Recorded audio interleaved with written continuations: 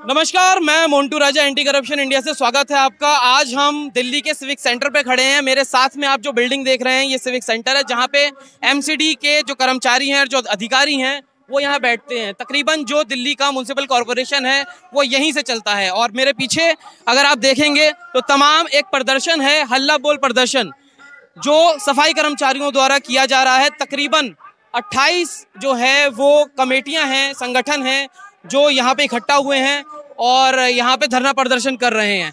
क्या मांगे हैं? क्योंकि धरना प्रदर्शन सफ़ाई कर्मचारियों का पहली बार नहीं है, पहले भी कई बार हो चुका है। उत्तर प्रदेश की बात आपको याद होगा, सम्मान समारोह करा जा रहा था, जिसमें सफ़ाई कर्मचारी जो महिला थी, उसने योगी से कह दिया था कि सम्मान से कुछ नहीं होता, पेट भरने से होता है तो वेतन बढ़ाओ। उसके बाद जगह जगह ये जो धरने हैं, ये देखे जा रहे हैं। तो आइए जान लेते हैं, जो धरना दे रहे हैं लोग क्या मांगे हैं? क्यों धरना दे रहे हैं? क्या समस्याएँ हैं? आइए। तो इस प्रदर्शन में कुछ महिलाएँ भी हैं उनके पास हम आ गए हैं जान लेते हैं कि क्या क्यों आई हैं धरने में क्या मांगे हैं। क्या नाम है आपका? यहाँ जो आप धरना देने आई हैं क्या समस्या है? क्यों आई हैं धरना देने? भैया तनख्वाह लेट दे रहे बोनिस नहीं दे रहे दो हज़ार चार सामान रखे तेरह सामान रेस ले आए। भैया देखो क्या होता है। कितने सालों से एमसीडी में कार्य कर रही हैं? सत्तानवे में लगे थे भाई हम तो। सत्तानवे में। सत्तानवे में? सत्तानवे में लगे थे। आप भी साथ में ही आए? किस क्षेत्र से आए आप लोग? किस एरिया से आए?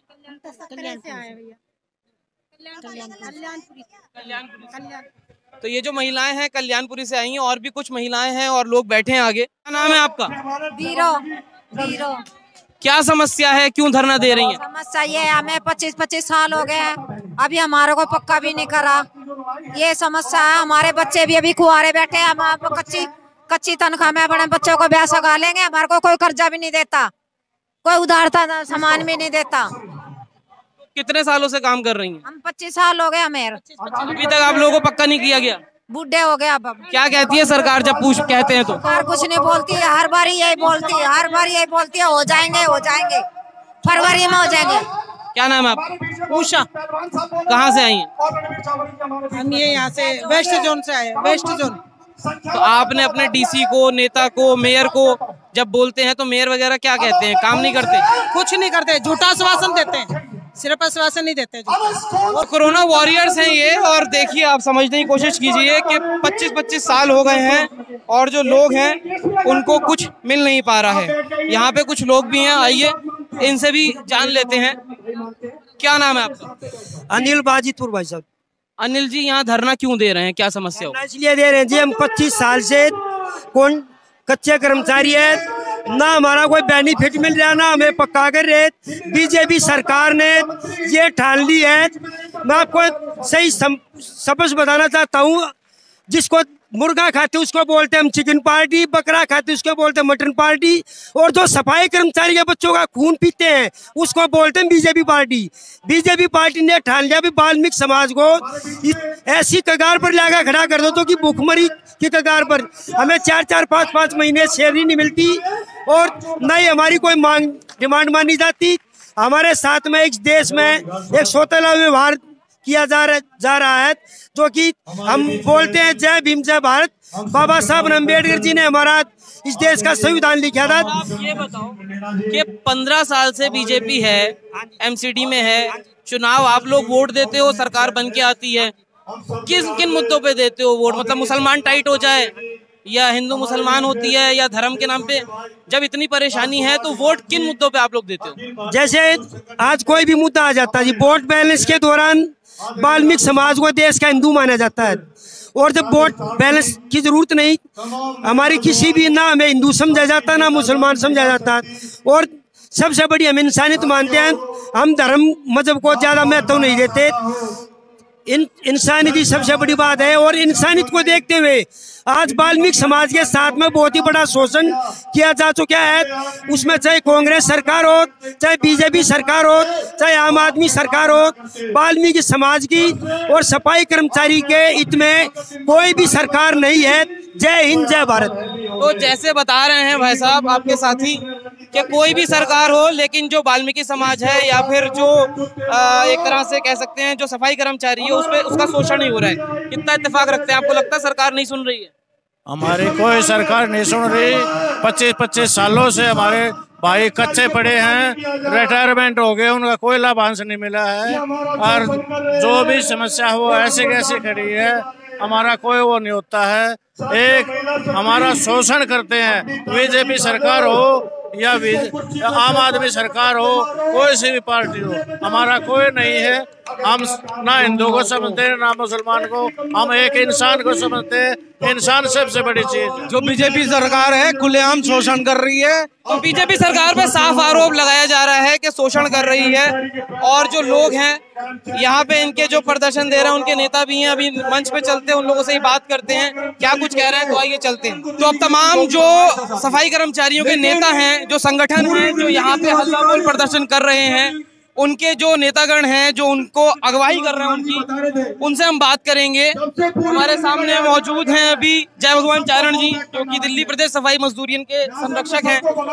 सर धरना दे रहे हैं आप लोग। क्या मांगे हैं? पहले भी धरना दिया है इस बार क्या मांगे? मैं सबसे पहले तो आपका और आपके चैनल का धन्यवाद करता हूँ। हमारी मांगे ये है कि सबसे पहले तो पच्चीस पच्चीस साल हो गए हमारे लोगों को पक्का नहीं किया यार हमारे बहन भाइयों को। दो बोनस हो गए बोनस नहीं दी एक तनख्वाह डी डी तनख्वाह नहीं दी। और जो 2004 से पक्के मान लिए गए थे तीनों कमिश्नर ने तीनों स्थायी कमेटी चेयरमैन ने तीनों सदन के नेताओं ने। अब ये इनका अब उनको दो हज़ार तेरह से पक्का मानने के लिए आदेश निकाल रहे हैं लोग। इसका हम विरोध करते हैं। दिल्ली प्रदेश सफ़ाई मजदूर यूनियन पूरे पर ज़ोर पर विरोध करती है। अगर इन्होंने ये फैसला वापस नहीं लिया तो हम दिल्ली को बंद करने का काम करेंगे। क्या आपकी इस संदर्भ में किसी मेयर से डीसी से कमिश्नर से बात हुई? है हमारी कल मीटिंग हुई थी आदरणीय एडिशनल कमिश्नर सिंधे जी से। उस मीटिंग में कोई निर्णय नहीं निकल पाया। क्योंकि आदरणीय सिंधे जी को एडिशनल कमिश्नर पावर नहीं है हमारे कमिश्नर मोदी को पावर है। कमिश्नर महोदय किसी कारण मीटिंग में नहीं आए इसलिए वो फैसला नहीं हो पाया। आगे क्या करेंगे?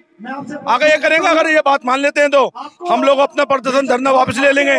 अगर ये ये की बात नहीं तो हम चौदह तारीख को हमने घोषणा कर दी हड़ताल की। हड़ताल पे जाएँगे हम लोग। उसकी सारी जिम्मेवारी होगी निगम प्रशासन की होगी। हमारी नहीं होगी हमारे किसी बहन भाई की नहीं होगी।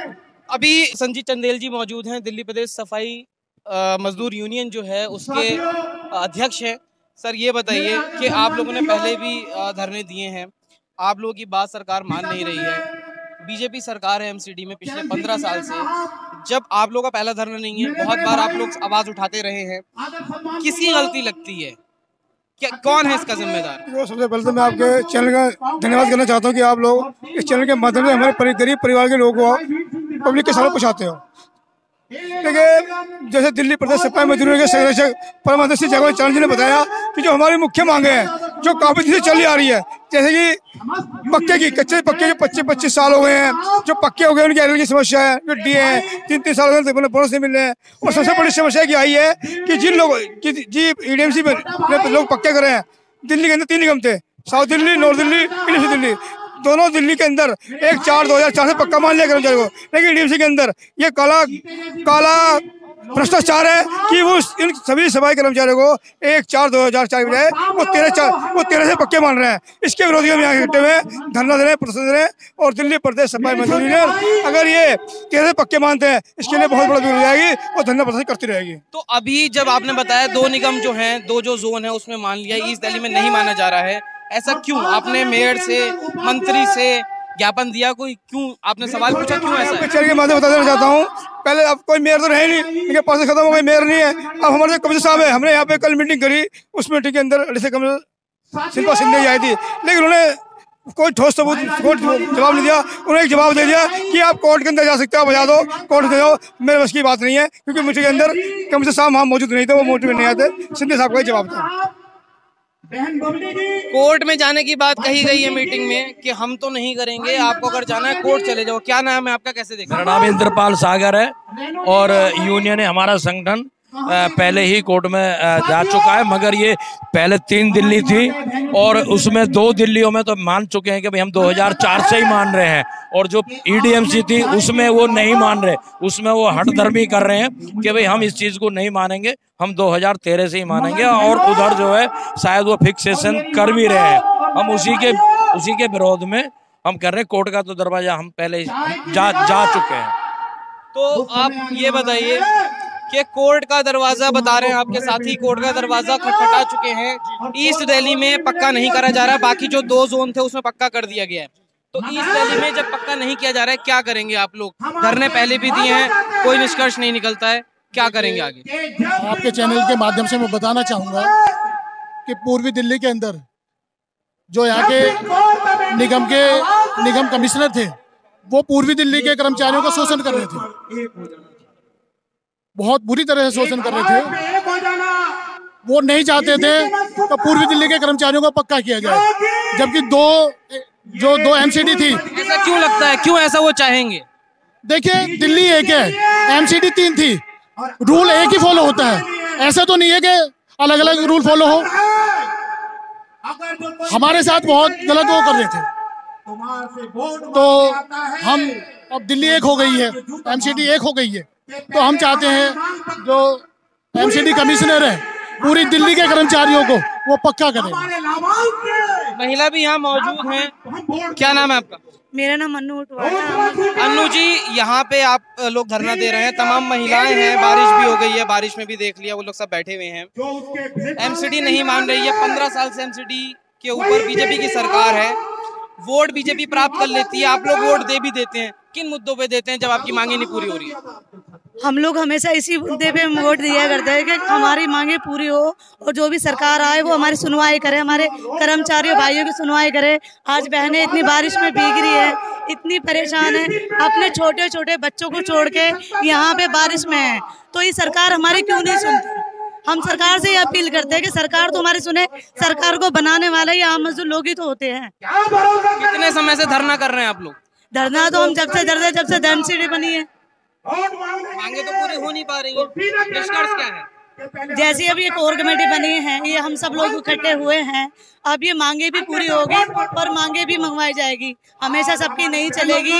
इतने लोग जो यहाँ जमा हुए हैं वो अपनी मांगे के हुए हैं? कुछ ना कुछ तो इसका मुद्दा निकलेगा ही। तो ये देखिए जैसे कि बता रहे हैं कुछ ना कुछ मुद्दा निकलेगा एक आस है। जैसे कि तमाम लोग होते हैं। एक आस है लोगों को कि कुछ ना कुछ निष्कर्ष निकल जाएगा। एक उम्मीद उम्मीद पे दुनिया कायम है। यहाँ पे भी लोग कह रहे हैं कि उम्मीद है चीज़ होगी। क्या नाम है आपका? मैं संजय भारजा दिल्ली प्रदेश कोषाध्यक्ष मैं उम्मीद उम्मीद पे दुनिया कायम है पंद्रह साल से उम्मीद चल रही है क्या लगता है? नहीं देखो अगर हमारे में एकता या संग्रह एकता रहेगी वाल्मीकि समाज में हमारे कर्मचारियों में तो हमारी जो मांग डिमांड है सब पूरी होंगी। जय मोहन चारण जी के संजय चंदेल जी के। क्या लगता है पंद्रह साल से नहीं हुई क्या एकता नहीं है? ऐसा है वो कोशिश करने से हर काम होते हैं। संघर्ष हमारा नारा है संघर्ष करेंगे। जेल जाने से हम नहीं डरते जय भगवान चारण जी के अध्यक्षता में संजीत संजय अध्यक्ष जी उनकी अध्यक्षता में हम काम कर रहे हैं। हमारा हम हमारा संघर्ष जो भी हमें जेल जाना पड़ेगा या हमें जो भी काम करना होगा हम पूरी तरीके से करेंगे। साथी कह रहे हैं कि पंद्रह साल हो गए जेल जाने से भी हम नहीं डरेंगे और हम अपना हक लेंगे। कैसे देखते सालों हैं साहब हम तो जो है बिल्कुल वैसे भी मार रखे हैं इसीलिए वैसे भी मार रखे हैं। उससे तो फिर जेल में जाके ही मरे ना क्योंकि हमारे बच्चे क्या खाएँगे? बारह हज़ार रुपए में हमारा पेट पलता है।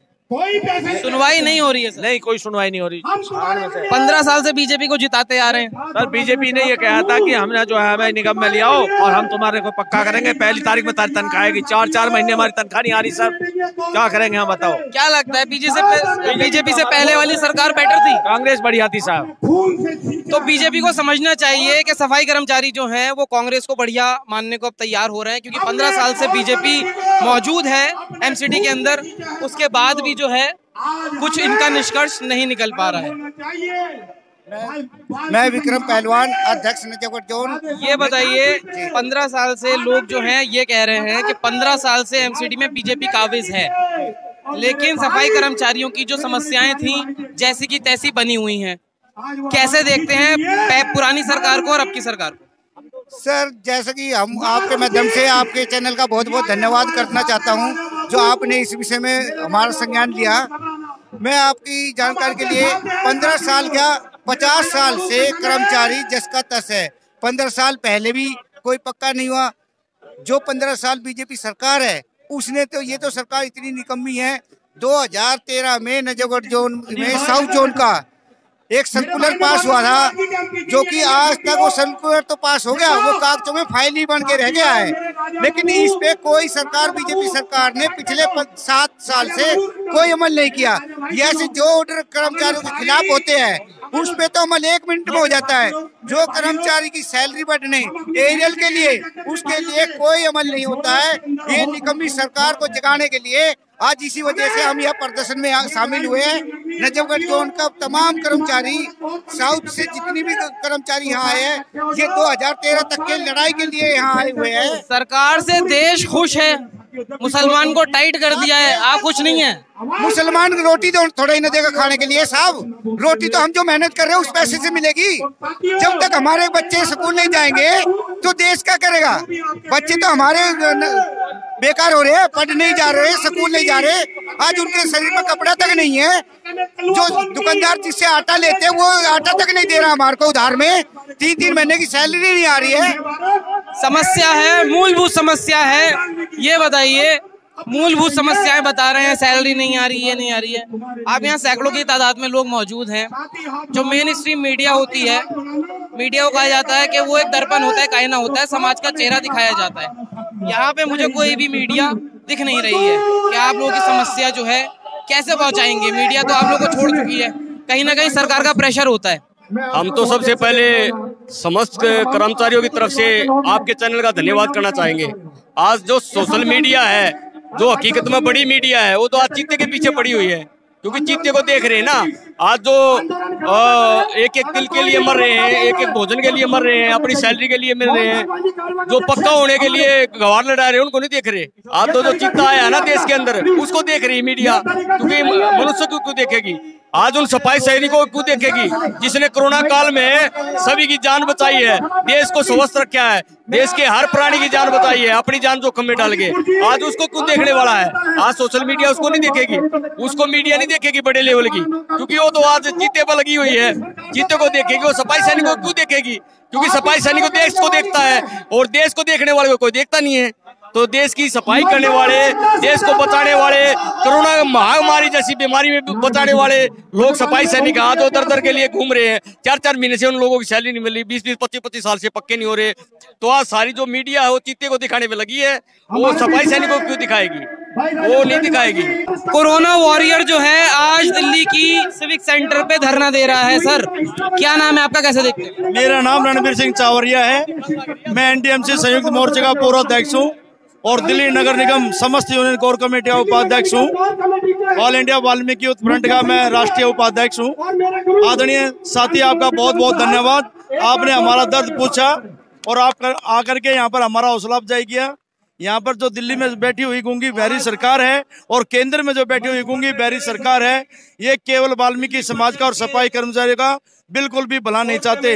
अगर इनमें दिल के अंदर थोड़ी सी भी जगह होती तो हमारे सफ़ाई कर्मचारी दो बीस बीस साल से चौबीस चौबीस साल से पच्चीस पच्चीस साल से कच्चे पड़े हैं, वो आज नियमित होते। कोरोना काल के अंदर हमारे सफ़ाई कर्मचारियों ने अपनी जान की परवाह करते हुए और अपने प्राणों की आहुति देते हुए अपने देश के प्रति और जनता के प्रति एक वफादारी की मिसाल की है। उच्च अधिकारी और नेता सारे अपने घरों में छुपे हुए थे, जबकि कोरोना वॉरियर और medical, paramedical, Delhi police, doctor, ये सब सड़क पर थे। लेकिन आज ऐसे हालात पैदा हो गए हैं, जो आज से सदियों पहले जो वाल्मीकि कौम के प्रति सोच रखते थे लोग बाग, वही सोच दोबारा से वर्तमान सरकार जो दिल्ली में है और केंद्र में है, उसी को दोहरा रही है। हम इसका घोर विरोध करते हैं। ये दो दिल्ली नगर निगम समस्त यूनियन कोर कमेटी जो आज उसके बैनर तले ये प्रदर्शन किया जा रहा है आज तो केवल प्रदर्शन और धरना है और 14 अक्टूबर से हम भूख हड़ताल उसके काम बंद हड़ताल पर चले जाएँगे। सर आज आप लोग जो धरना दे रहे हैं यहाँ पे बेसिक वही मुद्दे हैं जिनके जिनको लेके आप पहले भी धरने दे चुके हैं। सरकार नदारत है सुन नहीं रही है सालों से आप लोगों की बात। कैसे देखते हैं? मतलब धरने बहुत हो गए। अब एक्शन के लिए क्या सोचा आगे की रणनीति क्या है? नहीं हमने जो मुद्दे हैं उनके लिए कोर कमेटी के नेतृत्व में ये धरना चल रहा है। और कोर कमेटी ने बाकायदा नोटिस दिया है, आज का प्रदर्शन का था। आने वाली चौदह तारीख को हड़ताल का ऐलान करा हमने। तो हड़ताल को हम सफल बनाएँगे और दिल्ली में जिस तरह से ये अधिकारी और सरकार का जो रवैया है, वो बिल्कुल निंदनीय है। उस रवैये के खिलाफ हम लोग संघर्ष करेंगे और सफ़ाई कर्मचारी को न्याय दिलाकर रहेंगे। जो बीजेपी है, उसके अंडर एमसीडी है, क्या आपने एलजी से मेयर से, उच्च अधिकारियों से कमिश्नर से बातचीत करते हैं? सालों से आप लोगों को सिर्फ़ आश्वासन नहीं मिल रहा है। आप लोग रिज़ल्ट की बात नहीं करते उनसे। देखिए, हमने दिल्ली में निगम पार्षद से लेकर के और प्रधानमंत्री तक, भारतीय जनता पार्टी का कोई हमने अधिकारी छोड़ा नहीं है। जिससे बात ना की हो, जिसको जानकारी ना हो हमारे इस आंदोलन की। लेकिन शर्म की बात है ये कि ना तो मोदी सरकार और ना दिल्ली की केजरीवाल सरकार, दोनों सरकारें हड़धर्मी कर रही हैं और सफ़ाई मजदूरों को पीसने पर लगी हुई हैं। उनका शोषण कर रही हैं। बड़ा अत्याचार है कई कई माह तक तनख्वाह नहीं मिलती। कौन सी किताब में लिखा है? माननीय उच्च न्यायालय ने भी बोल दिया कि सफ़ाई कर्मचारी तनख्वाह सात तारीख से पहले पहले दे दी जाए। लेकिन आज भी तीन तीन, चार चार महीने हो जाते हैं। इनके कान पर जूनी रैंक थी इसके अलावा चादरा में विशेषतर चादरा में, जो कर्मचारी 2003-4 से पक्के किए गए थे, अब उनको रिवर्ट करके बोलते हैं कि हम उन्हें 2013 से मानेंगे। क्यों मानेंगे? सारे कागजात हमारे पास में हैं और हम नाइन से सड़क पे डरते हैं नाइन से बैठक में डरते हैं और अगर ये हाई कोर्ट में या सुप्रीम कोर्ट में जाएँगे तो वहाँ तक लड़ाई लड़ी जाएगी अपने कर्मचारी को न्याय दिलाकर रहेंगे हम। तो ऐसा क्यों लगता है आपको कि सुप्रीम कोर्ट का ऑर्डर है कि सात तारीख से पहले सफ़ाई कर्मचारी को उसकी सैलरी मिल जाए? उसके बाद भी जो एमसीडी है उसकी अवहेलना क्यों कर रही है? और आप लोग इसके लिए क्या सुप्रीम कोर्ट का दरवाज़ा खटखटाएँगे? देखिए दिल्ली का मुख्यमंत्री अरविंद केजरीवाल और निगम का जो सत्ता में बैठी है भाजपा, ये इनको शासन चलाना नहीं आता। कांग्रेस भी एक पार्टी थी, उसके टाइम में कभी किसी एक महीने में तनख्वाह किसी नहीं रुकी। कभी एक महीने में तनख्वाह नहीं रुकी। लोग बादसुर पक्के होते आए, पक्के भी हुए, लेकिन आज शर्म की बात है कि 10 साल केजरीवाल को भी हो गए हैं और 14 साल के भी हो गए हैं। लेकिन इनके कान पर जू नहीं रह रही है, देख नहीं रहे हैं। गरीब आदमी को पीछने पे लगे हुए हैं भाषण तो बड़ बड़ देते हैं। भाषण की बातें बड़ी बड़ी है इनकी कि हम अच्छे दिन लाएँगे लेकिन हम तो इनसे फरियाद करते हैं। हमारे वही दिन ला दो जो पहले थे। तो जैसे इनको समर्थन मिल रहा है अगर हम बीजेपी की बात करें जो जनता है खूब समर्थन दे रही है। जहाँ जा रहे हैं वहाँ विजेता घोषित किए जा रहे हैं। इसके को इसको आप कैसे देखते हैं? क्या है इसके पीछे का मुद्दा? कि लोगों को परेशानी के बाद भी लोग वोट बीजेपी को दे रहे हैं। इसके पीछे और कुछ नहीं है। केवल केवल और केवल धर्मवाद है। धर्म को आड़ लगा करके, आड़ लगा करके और ये सत्ता में काबिज होते जा रहे हैं। ये जानते हैं इस बात को, इन्होंने हिंदुस्तान के लोगों की नौज पकड़ी है कि हिंदुस्तान का, भारतवर्ष का व्यक्ति, वो धार्मिक विचारधारा का आदमी है और उस तरह के मुद्दे ये उठाते हैं। हिंदू, मुस्लिम की बात करते हैं और लोगों को, लोगों से फाड़ने की बात करते हैं। यही कारण है कि ये इनका जो देश का जो वोटर है, वो धार्मिक झांसे में आकर के और इनको जिताया जा रहा है। वो जानता है कि आज वो रोटी से परेशान है, कारोबार से परेशान है, नौकरी नहीं मिलती है, परेशान है, ठेकेदारी प्रथा ज़्यादा बढ़ गई है। बड़े बड़े उद्योग भारतीय जनता पार्टी ने बेच दिए हैं, लेकिन उसके बावजूद भी वो मजबूर है कि धार्मिक भावना को लेकर के वो इनके झांसे में आकर इनको वोट दे रहा है। बहुत बहुत शुक्रिया सर। तो धर्म का खेल जो है वो चल रहा है और उस धर्म के खेल में कीमत किसको चुकानी पड़ रही है? यहाँ आप देखिए तमाम जो लोग हैं वो अपनी कीमत चुका रहे हैं। धर्म की राजनीति करके साफ़ तौर पे बीजेपी पे आरोप है कि धर्म की राजनीति करके सत्ता में पहुँच जाते हैं। लेकिन जो बेसिक मुद्दे हैं जो सफ़ाई कर्मचारी हैं जो कोरोना वॉरियर थे उनको आज अपनी सैलरी को लेके अपनी बेसिक मांगों को लेके धरने देने पड़ते हैं, सरकार जो है इनकी सुनवाई नहीं करती है। तो क्या कहेंगे आप? क्या है आपकी राय? कमेंट द्वारा अपने विचार हमसे आप साझा कर सकते हैं। अगली अपडेट के साथ आपके सामने फिर प्रस्तुत होंगे। नमस्कार। सब्सक्राइब करें हमारे यूट्यूब चैनल को और बने रहें हमारे साथ।